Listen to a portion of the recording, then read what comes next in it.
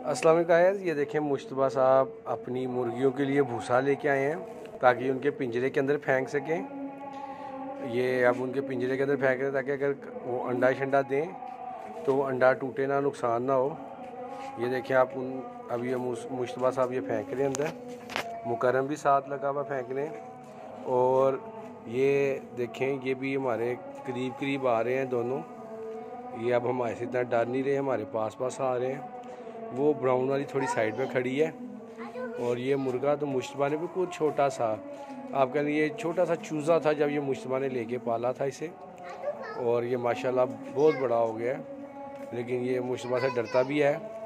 हम साथ साथ ये देखें, मुश्तबा साहब जो काम कर रहे हैं, ये पिंजरे के अंदर मुश्तबा साहब तूड़ी फेंक रहे हैं भूसा जिसे कहते हैं आम ज़ुबान पे।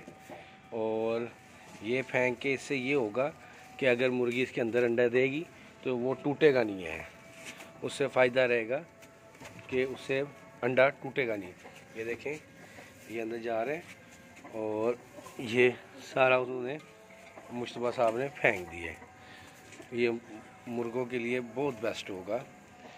और मुर्गी में वैसे भी आगे से सर्दियाँ आ रही हैं, रात के टाइम मौसम ठंडा हो जाता है और ये गर्माइश देंगी। ये मुशतबा ने ये एक और बनाया हुआ है इनके लिए। ये देखें अब ये मुशतबा उसके अंदर भी ये फेंक के उनका घर बना रहा है, ताकि अगर वो इधर भी अंडा देना चाहें तो वो इधर भी अंडा दे सकती हैं।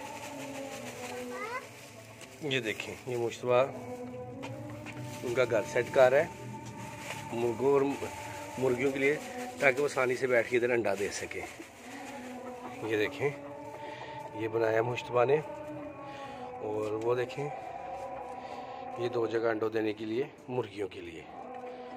ओके जी गाइस अब आगे हम आपको नई अपडेट्स देंगे।